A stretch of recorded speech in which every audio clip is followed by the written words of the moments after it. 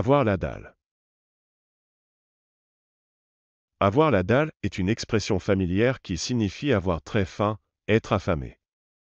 Exemple d'utilisation. Après une longue journée de travail, j'ai la dalle, je vais me faire un bon repas. Hier soir, on s'est fait une soirée pizza, j'ai trop la dalle ce matin. En randonnée, il est important de bien se nourrir pour ne pas avoir la dalle en plein milieu de la montagne.